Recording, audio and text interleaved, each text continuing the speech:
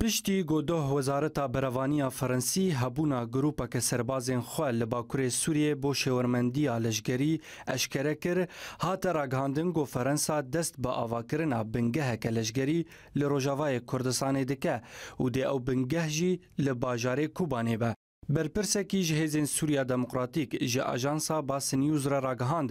ku leşger û serbazên ferensî dest bi avakirina bingeheke leşgerî li ser girê Meştenûrê yê ku dikeve bakurê rojhilatê Kobanê kirine.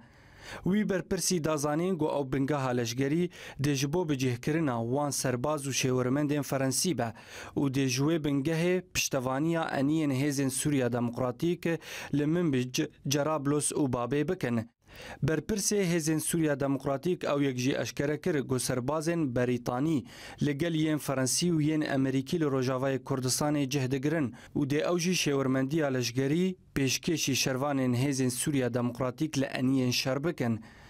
Tê zanîn ku beriya niha jêderên Sûriya Demokratîk ragihandin ku Emerîka bingeh û balafirxaneyên leşgerî li Kûbanê û Rimêlanê ava dike, Lê bi lez her du wezaretên Emerîkî ya Berevaniyê û ya Derve ew yek red kirin û tenê hebûna şêwirmendên xwe eşkere kirin. Belê bi van gavên Emerîkî û yên Ferensî û Berîtanî li Rojavayê Kurdistanê xuya dike ku Hevpeymaniya Navnetewî ya dijî DAIŞ'ê berî dide şerê zemînê jî û jixwe ew jî li gel êrîşên